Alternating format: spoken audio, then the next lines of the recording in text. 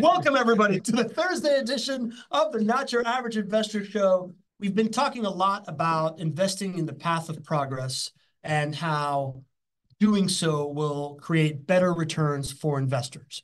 And the idea of investing in a city where an urban core is about to really blossom is one of the best ways that you can guarantee being in the path of progress. And today, we have the ultimate insider of the ultimate insight of the ultimate city that's about to blossom, talking about the three biggest projects that are going to change the skyline, the economic situation, the lifestyle of Jacksonville forevermore. I'm your host, Pablo Gonzalez. With me, as always, a man that I like to call GC because of his genius concepts, because he knows how to generate cash flows, because he's a great co host, and because his name is Greg Cohen. You're supposed to tell me when I'm supposed to say hello. I, You- I, I can't do it unless it you up. tell me to say hello. You know, uh, say hello, Greg. Hello, everybody, and great to be with you. I'm proud that you knew how to fix your microphone almost the way that you should. How about this way? And with us is the guy that you are really showing up for. No offense, Greg. Hey, none taken. If you have ever read anything about real estate in Northeast Florida, chances are his name was mentioned. He has been um, associated with as the Steve Jobs of Northeast real estate, the Tasmanian Devil of Northeast real estate. Really, what he is, he is a one of the greatest evangelists and cheerleaders for our local economy, who has been bringing investors and bringing stakeholders to the table to create these these really, really intricate, not easy to do deals because it's a unique talent of understanding real estate, people, and being a really nice guy. Alex Sifakis, welcome to the show. Thanks. Happy to be here. New intro for Al- you. al- What's that? always. That was that was better than the last one. you know. Kinda. Steve, Steve Jobs. That's not true. I but like to, I you like know? to, you know, love being here with once once I found out that this Tasmanian devil thing was taking hold, Yeah. now I want to see what else people can you. call You know it. why not? Steve throw Jobs of throw it Northeast out there. estate. You're welcome. I've You got a few thank you. nicknames. I mean, do we want to go down nickname route? I think we can, but that's not this section section of the show. That being said, speaking of path of progress, speaking of seeing the path of progress and all these projects that we're talking about, we are super happy to announce that we have sold out the Not Your Average Investor Summit that is happening in February 16th and 17th.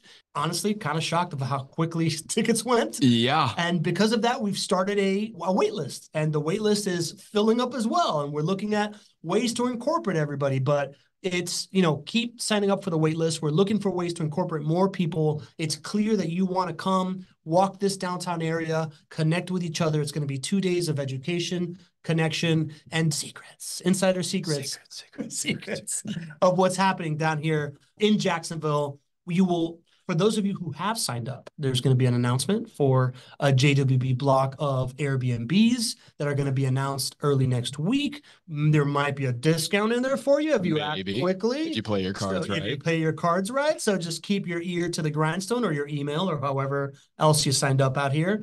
But really looking forward to this.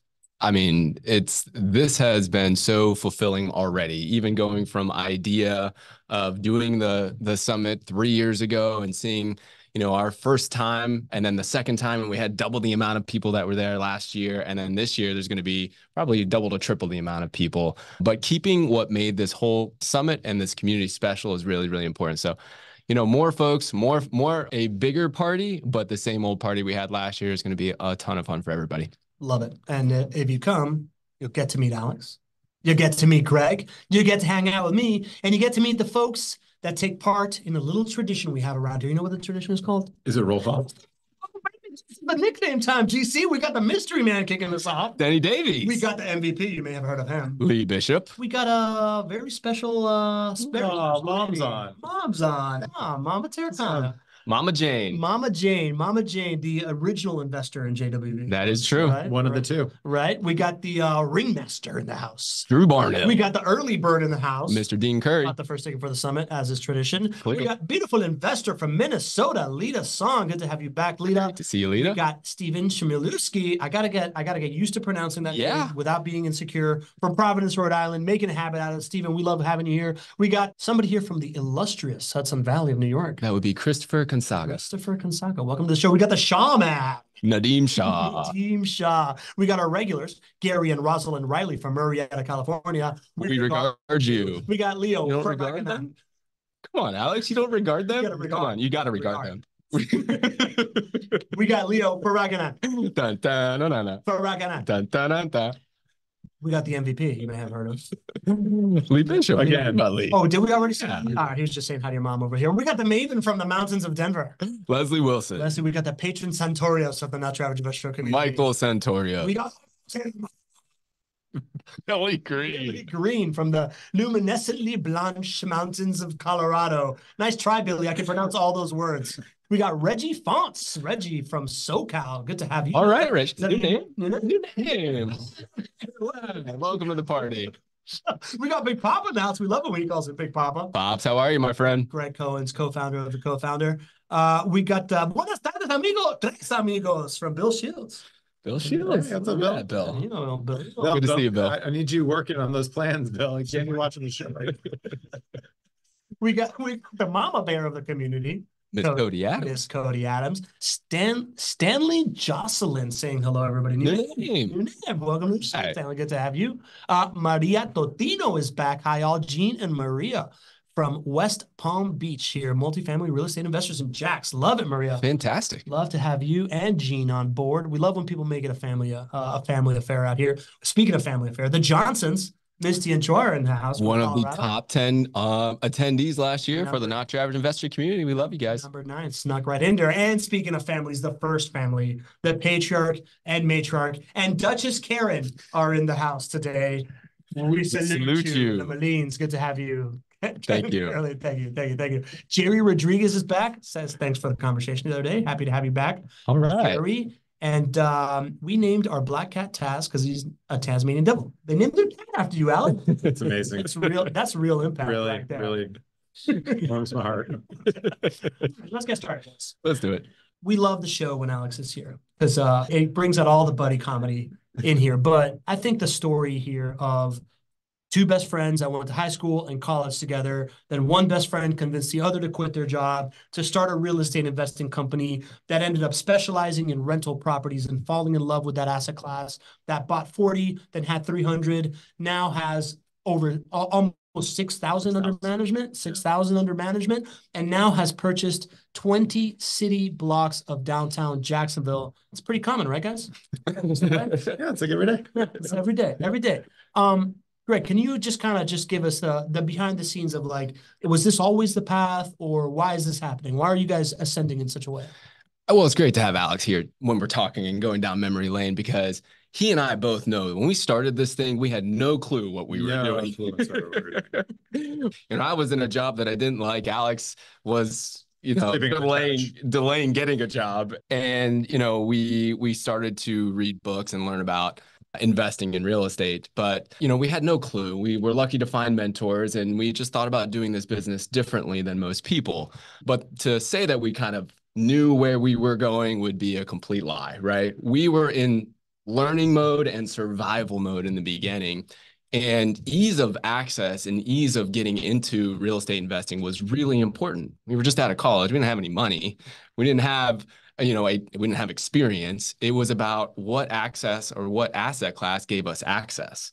And so single family rental properties creates the most access for real estate. And so for us, we said, well, let's combine, you know, just uh, no fear of failure, which we never have really had, with these mentors that we have, with our attitude and our effort. And we said, let's put that into single family rental properties because the least barriers of entry.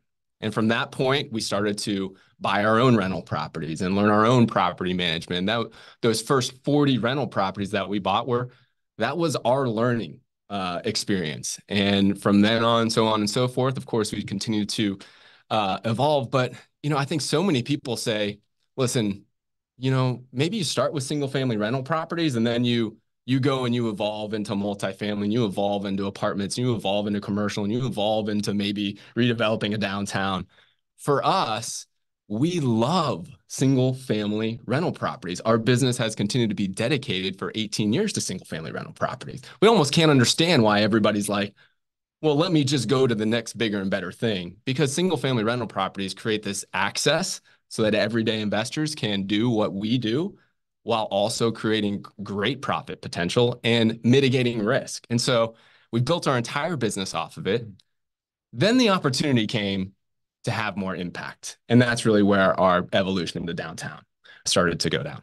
I love that. You guys talk about not having experience and maybe not having money. I think what you guys had was uh, what we call chutzpah, right? You had uh, that that unique kind of like energy and desire. And this guy right here, who is a world class visionary, Alex, I, I've heard this story of 10 years ago, you coming to your business partner and being like, hey guys, here's the plan. I'm gonna get really involved in downtown. I know that I know that I'm the co-founder of a 150 recently turned 200 million dollar company, and I expect this company to just support me in doing things downtown because I think there's going to be an opportunity in about 10 years that we're going to capitalize on. You want to you want to take me back to like what you were seeing and the reason why you decided to to put so much effort into just downtown when nobody believed in downtown 10 years ago. Well, so I've talked about this before on the show, but you know, really started getting interested in downtown when I went on the chamber leadership trip in 2012 and 2013, where the chamber takes 130 CEOs and you travel to another city and learn what that city did, and and really saw the impact that it had. Those cities were Cincinnati and Charlotte. The impact that revitalizing downtown had on Cincinnati and on Charlotte, and said, you know, that's it's a no-brainer to bring that back to Jacksonville. And there's there had been a lot of people working on downtown already for a long time. And you know, getting involved in those efforts was was really important because I saw the opportunity there.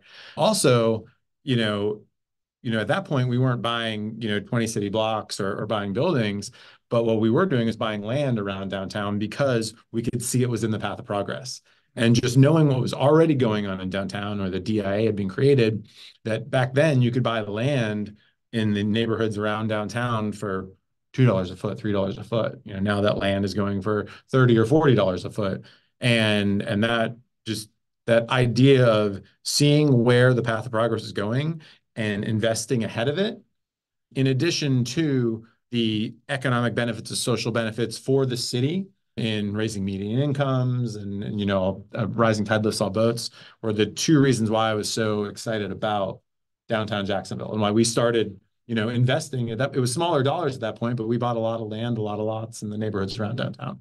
Um, and and it it ended up working out. So. And it's and it's working out. And we're gonna talk about just how much is working out because from 10 years ago when you guys were just buying a lot of lots, now people are putting a lot, a lot of money into into, yeah. into these lots. Um, and that was this aha moment for you guys on alignment of impact you can create and getting in the path of progress. And I think as we as we have like explored those topics over the last couple years on the show, something else has really come to light for us, which is how this doesn't just put you in the path of progress, but how you can put other people in the path of progress with the rental properties and what you're doing over there. Do you see you want to kind of like teach us about that? Yeah, you know, now 18 years in the business, in order for us to take a big move resources wise, align our team, align our financial resources around an opportunity, it has to be more than just one singular win. It has to be a win across the board. And so when Alex came back 10 years ago and he said, listen, we are going to be a major driver in downtown Jacksonville, and we're going to start to do those things. The wins that we saw across the board were uh, very large for for everybody. We first looked at our local community and we said, how can we make an impact on our local community?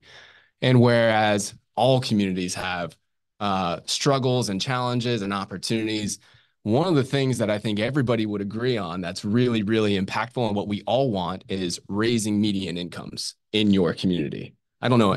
I don't know anybody who says they don't want that. You know, we can all agree on that. And when you think about us putting our time, energy, talents into redeveloping downtown Jacksonville, we quickly realized what a change agent that is and how that brings higher median incomes. And so we said, okay, our community wins when we do this.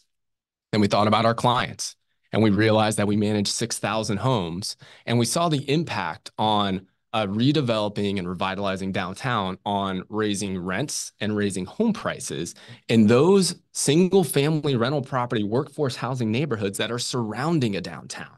And we said, wow, this is the best thing we could do for our clients as well. We're able to raise uh, home prices. We're able to raise rents. We're able to raise median income so they can support them. And our clients don't necessarily have to take the risk of putting all their money in downtown. They indirectly get those benefits. And we said, wow, a huge win for our clients.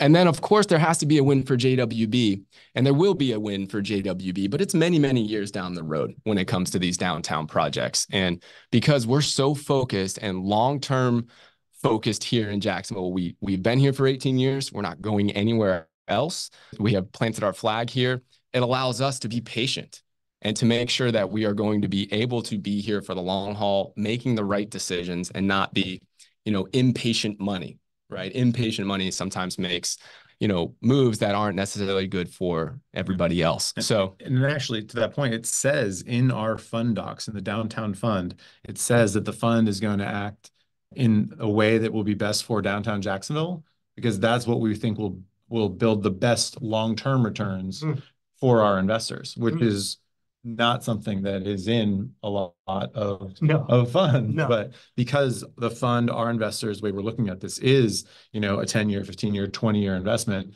that that's important that you're not doing things you know you can do a development and plan on selling it in two years and make money but it might not be the best thing for the downtown the community whatever surrounding areas and, yeah. and so it was really important to us to not just say that but actually put it in writing in in our, our documents. So which is not normal. And the money, we'll talk about the funds that are raised in these downtown projects, which I know we're excited to learn a little bit more about today.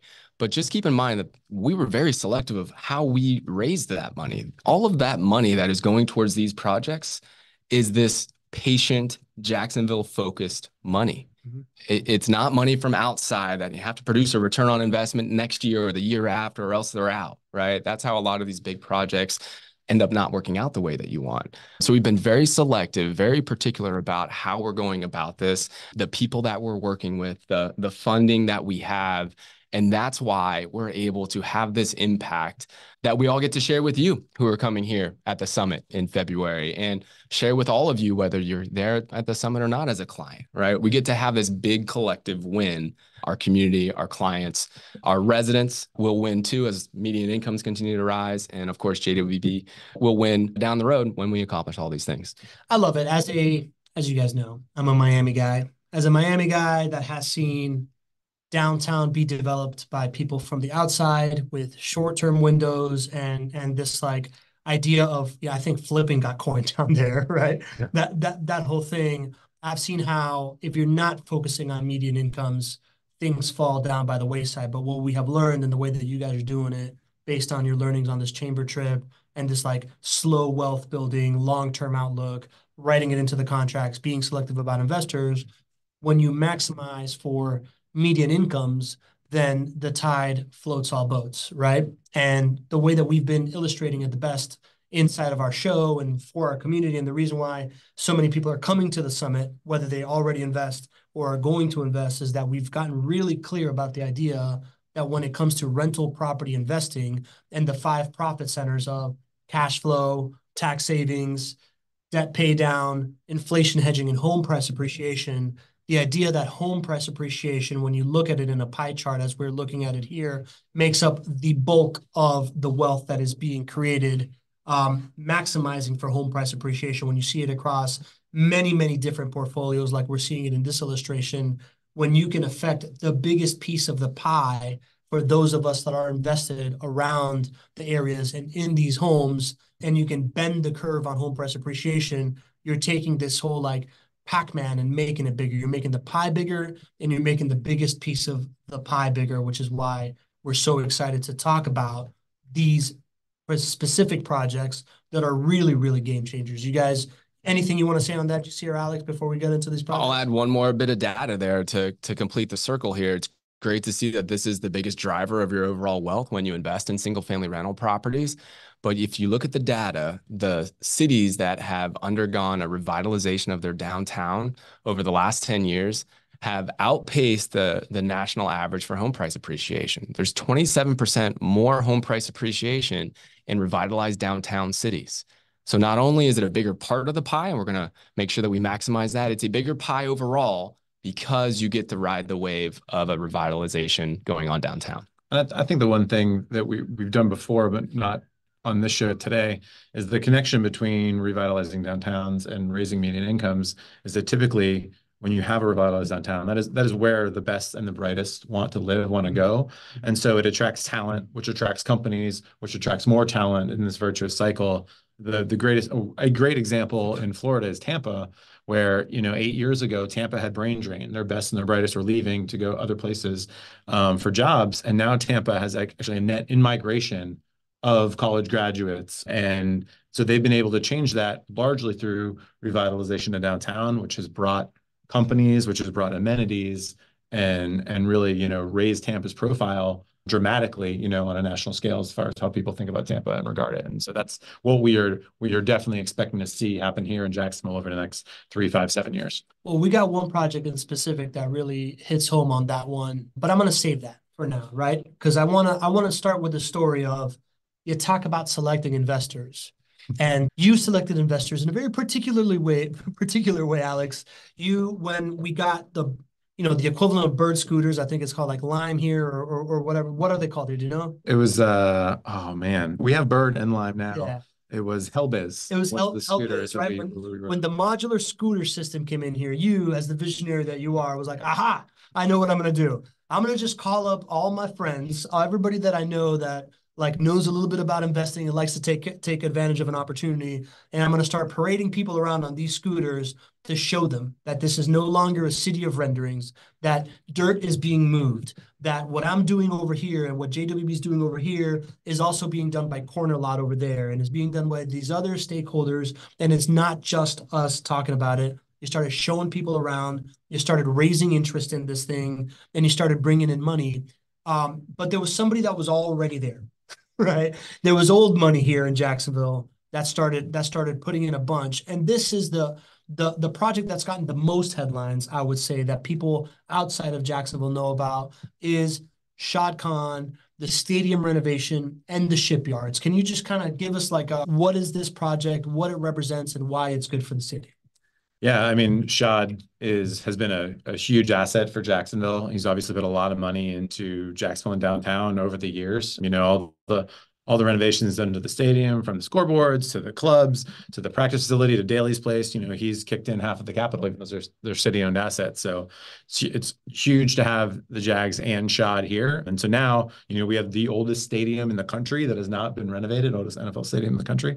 And so it's time for us to do a, a renovation on our stadium. And the plan that the Jaguars have is is phenomenal, and we're super excited. You know, right now the the Jaguars are already building the Four Seasons um, just south of the stadium. That is under construction right now, which is a over $300 million project, incredibly high end food, beverage, hotel, spa, the river, river walk, riverfront activation, marina. That's going to be a, a huge asset for Jax and downtown. And then the stadium renovation and the development of the neighborhoods around that is really the next phase. Right now, the city's you know negotiating that with the Jaguars, and we, we can't wait. You know, very confident that that's going to come to fruition, and, very excited to see what that does for those neighborhoods. And like we've been saying, you know, these sort of of large catalytic developments attract talent, attract mm-hmm. jobs, attract investment, which raises median incomes and and improves values and rents in the areas all around it. So we're excited. Let's help people understand the progression of some of these projects and how they actually get to the point where dirt is being moved and maybe let people know what's actually happening right now. Because I do think that if people are talking about future developments in their city and whatnot, it's very easy to put pictures up that look like this, but those projects may or may not ever happen.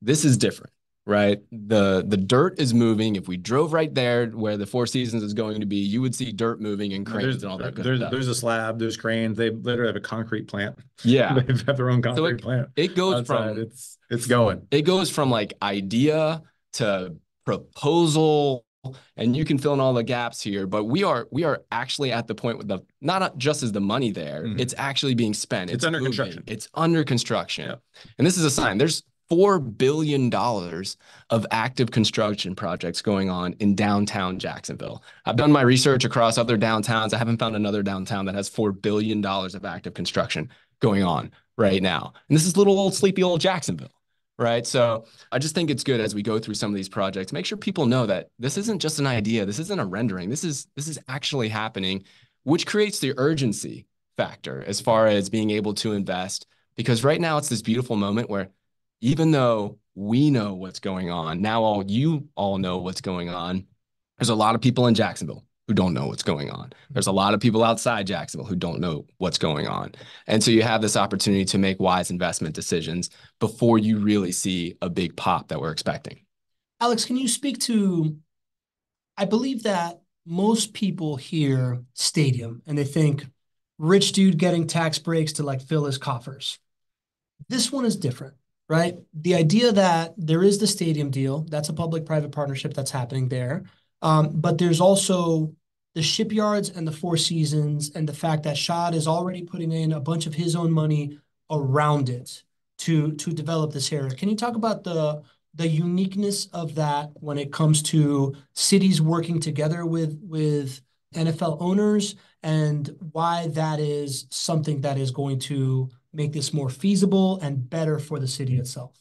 Yeah, uh, I think, you know, Shad has always put in you know, always matched the city and, and their investment in these city-owned assets. So I think that that that idea, you know, it's a rich guy getting handouts is just it's not it's not true. Like they're investing real dollars, and grant there's there's not another person in Jacksonville that could invest the type of dollars yeah. into Jacksonville that that Shad has. And and I think you know when you look at how and how st- NFL stadiums get built, you know, for for cities that are in the the lower quartile and overall revenue and population, like Jacksonville is, mm-hmm. you know, the the city or the municipality normally puts in 70 plus percent of the dollars for the project. And and we're, what the jaguars are proposing on this is a 50-50 deal. So it's a it's a better deal than what you see other stadiums in cities like jacksonville have gotten which is great. You know shad is willing to do that willing to invest in the community and then the other part about it is it's not just the stadium like what they're talking about is revitalizing the whole area around the stadium, bringing in food and beverage and entertainment and housing and a lot of redevelopment to the east side neighborhood, which is a hist- historically underserved neighborhood just north of the stadium district. The Jaguars have already given massive donations to, you know, the historic east side CDC. They've, they've been working together for years. Mm-hmm. They're very invested in that community. And so it's really a commitment uh, the Jaguars are showing a commitment not just to hey, let's get a stadium deal done so so we can make more money, but in a way that's going to be great for the city as a whole. Can you talk to so you're somebody that's involved with economic development, right? Can you talk to the idea that how having a Four Seasons hotel in the mix of all of that actually helps the recruiting a Fortune 500 CEO to like build the headquarters and having these like developments be like, and this is where your VPs get to live and stuff. Yeah, like it's it's huge. I mean, you know, those sort of of big name brands that that everyone in the world knows, and it's kind of like what like having an NFL franchise does for Jacksonville. You know, like people hear Jacksonville, like, oh, they have an NFL franchise. Mm-hmm. They must be of a certain quality to mm-hmm. have an NFL franchise. And I think having something like the Four Seasons just is another notch, you know, on that post where it's, you know, one of, if not the, the best hotel brand in the world. And so now, you, you know, you have this really great high-end amenity, like you said, for your executives, for your friends, for, for whatever. So that's huge. First five-star hotel in downtown. Yeah. yeah. Yeah. Listen, if I'm, you know, we've not to brag, but we've had a Fortune 500 CEO on the show before, right? Gary from FIS.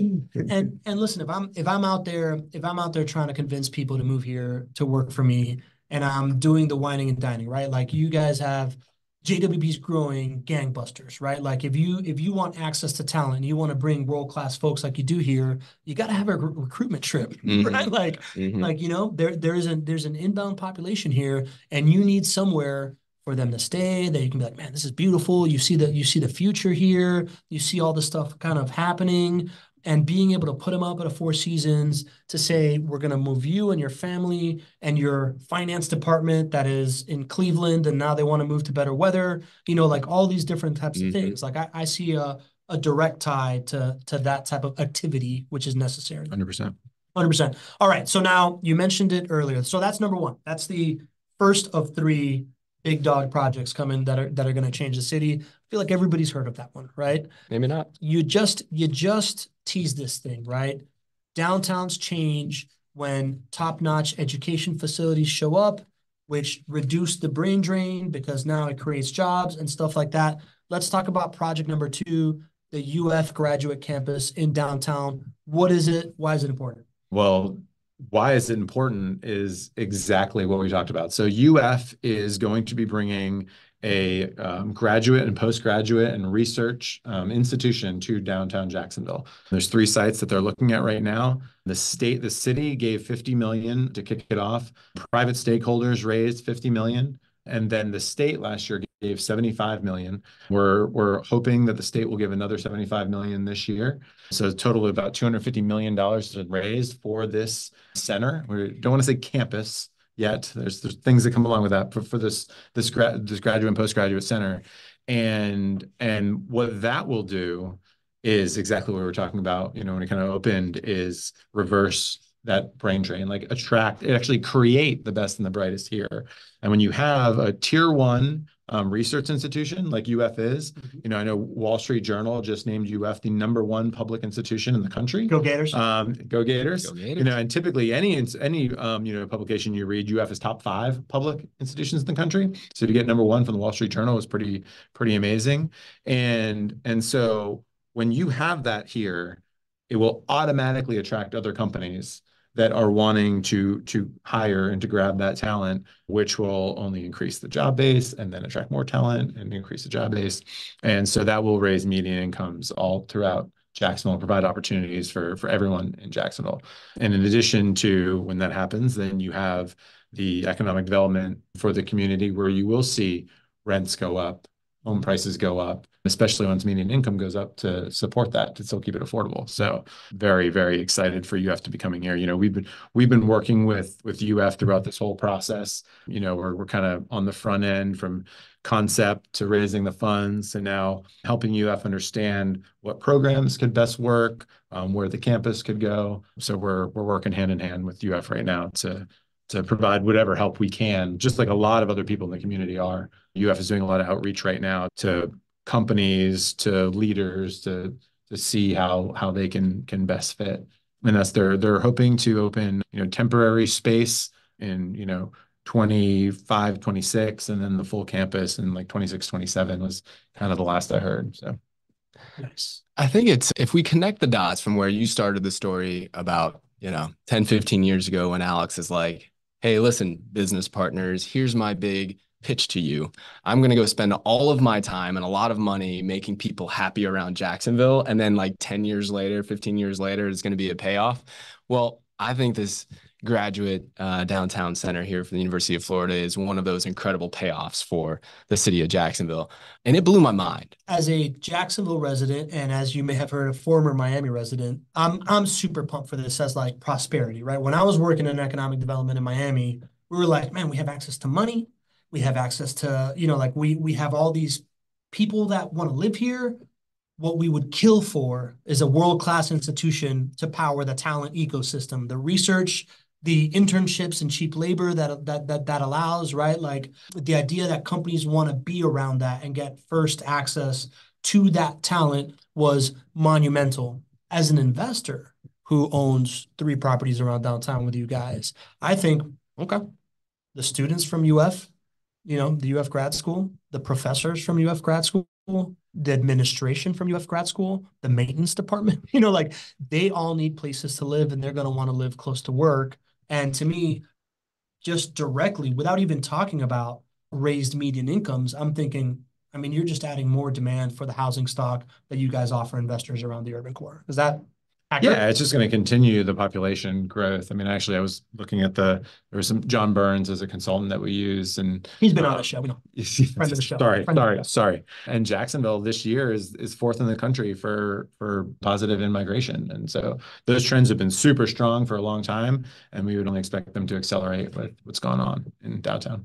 Love it. Anything there, GC? No, I mean, I, we think this is one of the biggest, most influential projects to ever hit downtown Jacksonville.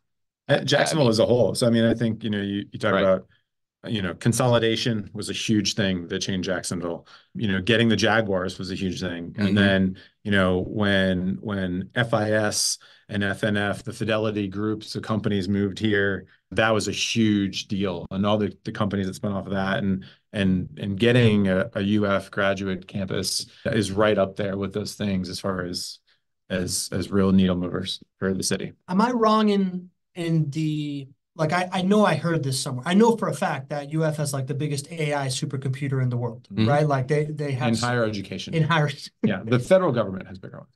Okay, well, whatever. That's not a competition, Alex.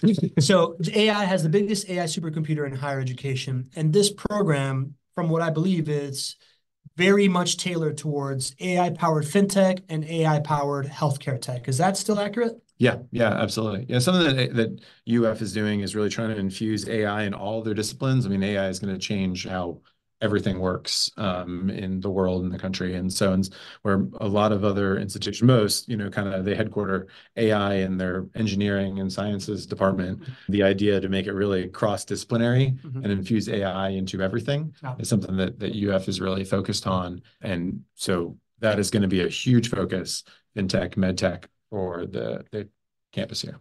Sounds like the path of progress to me. Yeah. All right. So speaking of path of progress and speaking of things that are going to change downtown forever, the third most important thing, you know, not in order, right? Like out of our three things here is something that I think is truly unique. And it's this Pearl Street district that is coming to downtown. Alex, before I get into it, how do you describe this thing and its relevance? So the Pearl Street District is the first phase of Gateway Jax's um, development, and that is that is the fund that that we started. We raised $20 million locally, got DLP, who's now our, our partner on the project, to commit 200 million in capital. We hired Brian Moll as our CEO. Brian has done 6 billion in urban mixed use in Tampa and DC. And so we bought 20 city blocks in downtown Jacksonville. We're going to do about 2 billion in development over the next eight to 10 years. And so the Pearl Street Districts is the first phase of that. It is uh, three high rises, uh, a 23 story tower, two seven story towers, all with ground floor retail, really focused on building a true neighborhood in downtown with an amazing experience at the ground level. So think, uh, you know, um, outdoor seating with restaurants and great streetscape and sidewalks and trees um, and, and boutiques and gyms and grocers and really having that true neighborhood in downtown. Um, and the reason that it's able to work is because we have that scale. We have 20 city blocks. This was just the first development, really the core of it. And so just like, you know, the other developments we've talked about, this will add a, a tremendous amenity for downtown that has that has not existed in downtown that will attract people to live downtown, Mhm. which will attract talent to Jacksonville Mhm. and therefore attract, you know, companies. And so we do think that it'll have it will help Jacksonville's upward trajectory as a city, even though it is, you know, a real estate development at its core. So fired up about it. Brian and his team are absolutely phenomenal. I mean, they've from where the the vision that that you know we had when we started this to bringing Brian in and Brian like kind of talking about his vision to what's actually happened, it's it's we've blown everything away. Like his team has been able to outperform everything that we thought was possible, and we're super excited about this. And there's you know follow up phases that we should have. It's about four phases right now that should, we should start about one a year hmm. for the next next you know few years. Cool. Can, can you talk a little bit about what it took to to set this up? Because I think that's that's really fun and exciting. I know that was that was a fun time for you to be acquiring what what we did and at the helm of that. And then also just talk about landing Brian, Yeah. right? Because Brian was you can tell what what Yeah. he was doing, but it was it's not easy to bring that talent here. No. What did he see that allowed him to to jump on board? So the first question about how it all came together, we just started buying little pieces. Well, we're in 2019, we bought Sweet Pete's, which is in the core downtown, and then the two buildings north of Sweet Pete's. And then, you know, when you're doing urban development, it's really important to focus on an area of strength and then just kind of work outside of that. So we just started, you know, looking at real estate, just one block, one block, one block, and we ended up acquiring a lot of parcels. And, you know, now if you look at a site map like a Pearl Street district, you've got a whole city block it's like, oh, that's a nice, well put together city block. But that was eight different little tiny pieces that had to get put together. So there was a lot of work that went into the acquisitions and the underwriting and how do we uh, putting it all together. I mean, we started buying property in in 2019, 2020 And really, it took three years to acquire most of the real estate. And that's why one of the reasons why this project is unique is because we have, you know, a tremendous amount of real estate all close together in an urban setting, you know, really in the core. I mean, we're talking we're eight blocks away from the river, you mm-hmm. know, two blocks away from, you know, James Weldon Johnson Park and City Hall. Mm-hmm. You know, it's it's in the middle of the heart of downtown Jacksonville. And so we think it's going to be a really, really tremendous project, hoping to break ground, you know, end of this year, actually. Talk about what GC asked. Brian, friend of the show. Yeah, Brian. Going to be at the meetup, right? Yes. Yeah, he is. You'll get to meet this extraordinary gentleman, or you can watch a past episode if you can't make it to the meetup. But talk talk about that whole, speaking of recruiting projects. Yep. Well, we didn't think we had a chance to get Brian. It's funny. So there was so Brian in 2016, uh, he started his career in DC. In 2016, was recruited to Water Street Tampa. So we talk about Tampa a lot. Mm-hmm. Water Street Tampa was the project in Tampa that really kind of brought downtown Tampa to the next level. Jeff Vinik, who was the owner of the um, Tampa Bay Lightning, bought 50 acres around the Tampa Bay Lightning um, arena and and did $4 billion in development. And and Brian was on the forefront of that. And it was funny because I got connected through the the mayor of Tampa, Bob Buckhorn, was the mayor during Tampa's resurgence, connected me with the CEO of Water Street Tampa, oh, of SPP, which was the developer of Water Street Tampa, James Nozar. And so I was talking to James, and he was just helping me out, just like, you know, free consulting. And he mentioned Brian's name. We were we were talking about, you know, you got to get a really amazing development guy. and And then, you know, fast forward a year later, we hired a search firm, and they were like, "Hey, this guy, Brian Moll, would be amazing. You know, he's by far the the best guy, but he's got this great job in DC." And I talked to James. Like, "Yeah." James said, "No, Brian's never leaving that job. He's not, he's not coming to Jacksonville. You know, you can try, but he's got a pretty sweet gig up there." And, but, you know, we had a conversation. He came down to Jacksonville, and we introduced him to the mayor and Lori Boyer and and Daniel Davis and like a lot of the community, the Jaguars. And he was just blown away, not only by the real estate that we had acquired, but like what was actually happening in downtown Jacksonville and the way that the city, it seemed like all the stakeholders were coming together in a way that he hadn't seen in other in other cities, even Tampa and DC. And so, you know, it was at the end of that meeting, he basically said that he was in and that downtown Jacksonville in 2022, this was a year ago, a year and a half ago, was a better opportunity than Tampa in 2016. So this is the last place in the country that this sort of opportunity exists. He took a pay cut and moved down to Jacksonville from DC and has been loving it, you know, ever since. And he's built an absolute rock star team, and they have been been killing it. But yeah, I thought that was was crazy that, you know, a guy who is so well-versed in mm. urban redevelopment and 6 billion, you know, said. With a cushy job in DC, which is not only, not only, yeah, and he was uh, in DC, what he was doing, he was running the Amazon HQ2 project. That was his project, by the way, the Amazon HQ2 project in DC, uh, just outside of DC. But that this was the last place in the Southeast, which is in the last place in the country because it's in the Southeast, that this sort of opportunity existed and a better opportunity than Tampa in 2016. And so you go back and you look at what's happened in home prices in Tampa, you know, in the neighborhoods around downtown in Tampa from 2016 until now. And you're like, "Oh, oh mm-hmm. that makes sense." Okay. That's a progress. Yeah. That's a progress. Mm-hmm. So yeah. So just to recap here for everybody following at home, we just kind of told the story, right? We're talking about these three projects, but within it is a story of two guys that went to high school and college together, decided to start a real estate company, fall in love with rental properties, end up just becoming world-class at making rental properties work, realizing an opportunity in their own hometown where there is this last canvas that you can paint this like world-class Sistine, you know, like Last Supper kind of world-class, what do you call it, mural on. Yeah. Go out there and not just acquire 20 blocks of a downtown of what is a blossoming city with an NFL franchise and a Four Seasons hotel and things of the sort. Not just acquire 20 blocks and and figure out how to do that, but then lead a recruitment effort to go find the most talented person out in the country that could possibly then pull this thing together to spearhead a development, get him to like relocate here, get him to see the vision. And now you guys are in the first phase of a $2 billion development that is a live, work, play thing, and it's going to turn downtown from a, and correct me, I don't know the numbers correctly, but from like an eight-hour city to a sixteen-hour city? Is that, is that what you sharps call it? The, the hours. I mean, right now there's there's 7,500 people that, that Yeah. live in downtown. But yeah, I mean, when you, uh, during the week when when it hits five six o'clock, th- there's not a lot of people on the streets down there, and and so I think you know that the concept of turning it into an 18 hour city is 18 absolutely hours, correct. Yeah. So explain the eighteen hour city, GC. Yeah, it's it's similar to what we were just saying, right? A, a 12-hour city is a city that basically is only there when people are working. So a downtown where people are only working, right? They get there, or or, or an eight-hour city or what whatever it may be, right?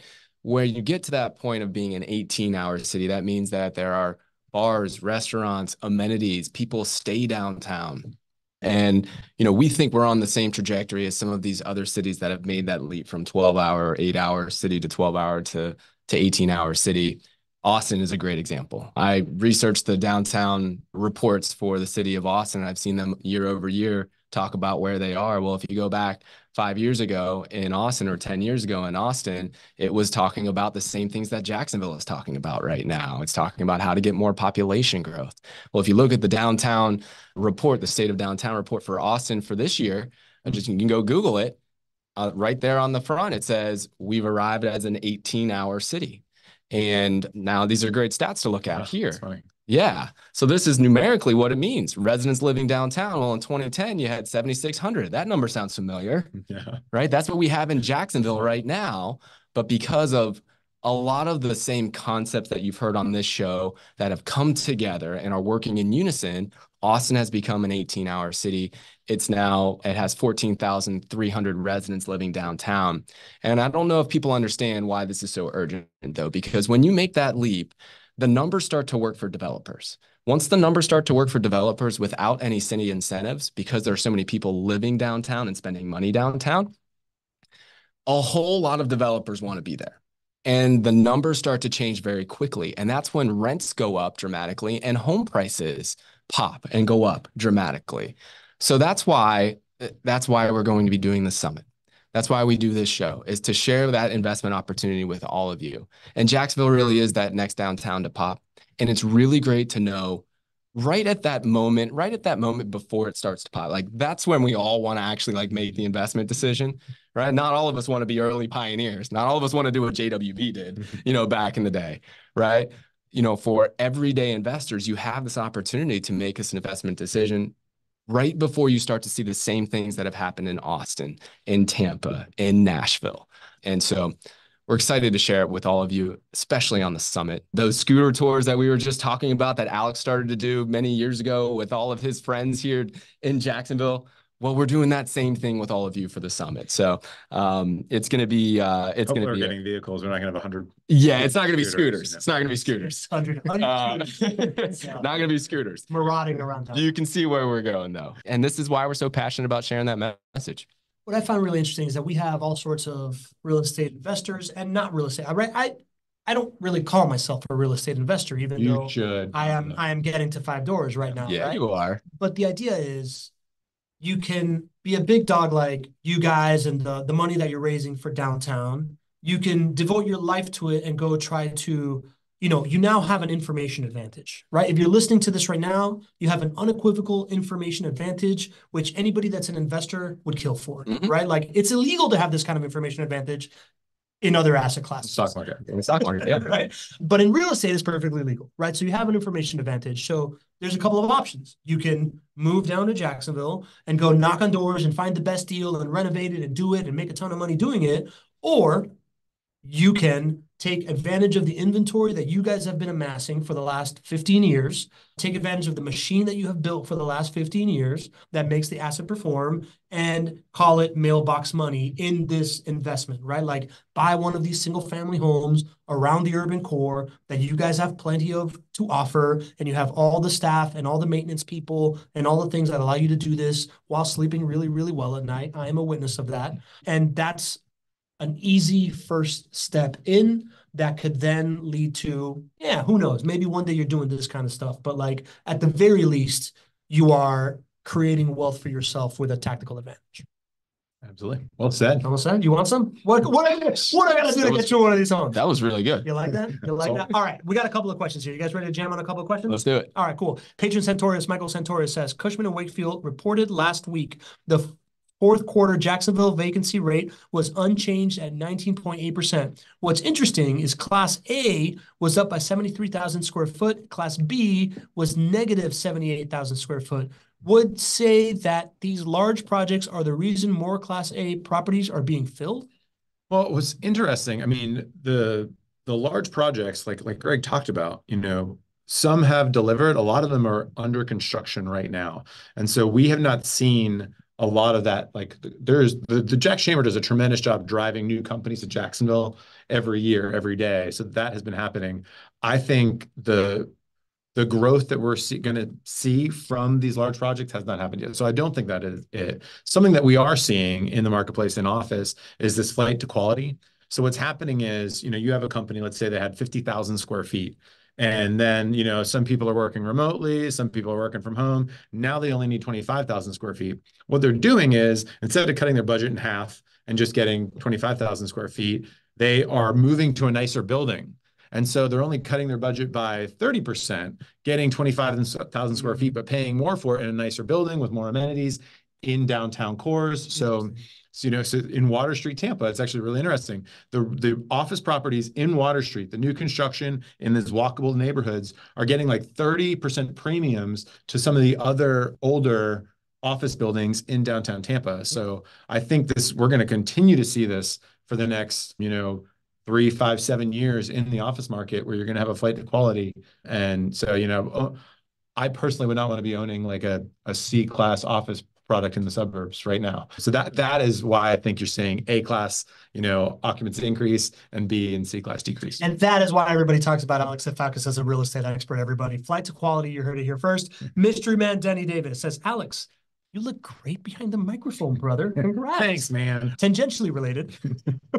what is the latest on the development and future of JAXPORT? What should be more that should be more fueled on the developmental fire, right? Yeah, I mean, JAXPORT is on fire right now. I mean, they're they're expanding. I mean, they're they're they're filling up all of their space so that the the, the deepening of the port uh, finish and actually finish under budget. Mhm. So we've got a lot of these larger, you know, Panam, you know, Max Panamax Post ship, Panamax. post Panamax ships Yep. that are that are coming in, and so they are needing more space at the port. There's a couple of extremely large parcels that they are looking at opening up for development Mhm. um, right now. So yeah, we're gonna continue to see growth from the port, which really drives the logistics industry One of the here, which industries. is yeah one of the five biggest industries here. So so yeah, that is that is only going to be continuing for Jacksonville. And JAXPORT's JAXPORT's super phenomenal. strategic because the other ports in Florida require you to drive five hours before you can even get out of Florida Yep. and get get your cargo Right, anywhere yep. else, right? So JAXPORT is a Yep. big deal. Great question. Alex, this should be an easy question for you to answer. You can do briefly. Alex, with the amount of experience that you have now with business development, relationship building, passion for Jax, talent for bringing people together, have you thought about running for mayor as the next step? No, If- listen, hell no. Okay, cool. That's an Not easy even not, not running for nothing ever. Never. No. That's the running joke. No, I I- constantly. honestly, honestly, I I appreciate like public servants that run for office. It is a tough It's tough. Tough man. job, It's tough. and like that being willing to serve and Yeah. do that. But no, it's not for not for me. Cool. Uh, Well, we like you here. It's one of my many nicknames for him is the Yeah. mayor. yeah. Maybe, maybe you can run for YouTube influencer though. All right, so here we go. Not your average guest says, I was looking at purchasing a JWB home on 639 Chestnut Street, Jacksonville, Florida, 32205. Back in December of last year, I was going under contract and had a hometown heroes grant that was going to assist with the down payment and closing costs. It ran out before sending the binder. Is there any other grants or minority grants that can assist with helping on a down payment? So there are. There's, you know, both you have the the state programs that get funded, you know, once a year, th- normally through like CBDG grants or things like that. So there should be more money in those existing programs. You know, the Live Local Act was passed last year in the state, something like $700 million going towards affordable housing. So there'll be a lot more funding for those programs in the future. And the city is actually working on a number of programs right now, um, which should be putting pumping more money into down payment assistance. Um, so yeah, if you reach out to the team, um, we can help get you connected. We're we're actually looking at doing some first time homebuyer education classes as well. But there's going to be a lot of money um, flowing through for affordable housing to first time homebuyer programs. You know, I was I was actually vice chair for um, the mayor's um, transition committee on affordable housing, Mhm. and we wrote a wrote a, a report. We put together a report that was, was really strong, and it seems like the administration is going to be taking a lot of those um, suggestions. So yeah, there will be more assistance coming And for that. I'll add just a couple of things just because I happen to be texting Cassandra, who's a, a, a realtor on our team and is a part of JWB Realty Group and absolutely helps folks with with this. I was texting Cassandra and I said, "Hey, which how much down payment assistance can people get?" The H2H program is up to $50,000 that folks can get. There are AMI limits on it. Then there's other programs called the Hero Hero yeah, Hometown Heroes up to $15,000 and there's probably more as well. So if you do have questions, you can go to jwbrealtygroup.com, reach out to our team. I'm happy to help you with that. Heck yeah, solving the affordability crisis. I love it. Mountain Man Billy Green. Last two questions here. Last call. If there was a three-year process of acquisitions, were there any extended factors that happened within that time which affected the underwriting, good or bad? I, I can tell you, I mean, prices went up, you know, prices for land went up pretty dramatically. So when we started, you know, we were, we were paying a third of what, you know, we ended paying. Yeah, well, no, it's just, you know, people kind of caught on. Obviously, a lot of in, in twenty nineteen, there wasn't as much going on. So even, you know, when the, the Four Seasons was announced, so Yeah. home pri- prices in Jacksonville, in downtown Jacksonville have been increasing. So we had to pay more. We, we were planning on that, so it didn't negatively impact our underwriting, but we definitely saw that as demand has increased in downtown. Yeah, I would imagine the last three years have been challenging to say the least. All right, Mr. Man, Danny Davis, closing this out. Gentlemen, what a show! Are there any potential barriers on the horizon that would delay the type of rapid development that you are discussing? Yeah, you know, the the financing market is a big one. You know, like when you're if you're doing a four hundred million dollar project, you I mean, you are going to need debt on that. So, you know, if if interest rates went up to 15% in the next year, or if banks just stopped lending, that would that would slow this sort of development.